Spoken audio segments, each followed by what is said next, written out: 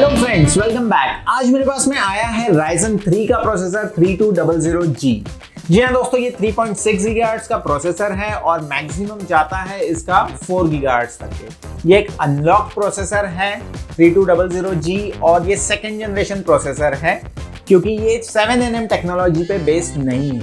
तो करते हैं इसका क्विक अनबॉक्सिंग और देखते हैं क्या है डब्बे के अंदर।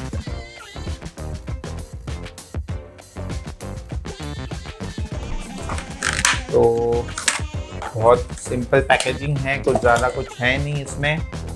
सबसे पहले ये ए की तरफ़ से कुछ मैनुअल है।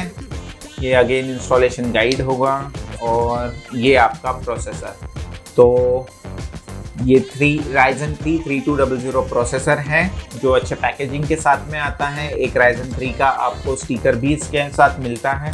और ये ब्लैक बॉक्स इसमें है, इसका हीट सिंक फ़ैन तो ये भी हम खोल के देख लेते हैं। तो ये इसका हिटसिंग है। नीचे जेल लग के आ रहा है तो हिटसिंग कंपाउंड का आपको अलग से लगाने की ज़रूरत है नहीं। फ़ैन ठीक ठाक है एंट्री लेवल प्रोसेसर के हिसाब से।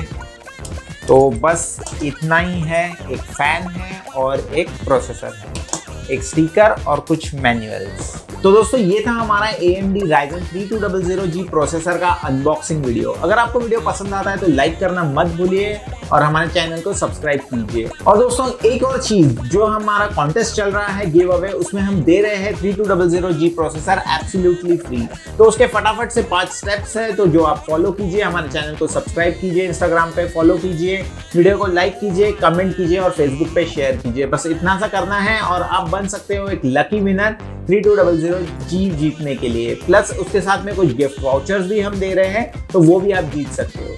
चलिए दोस्तों, अब till next time good bye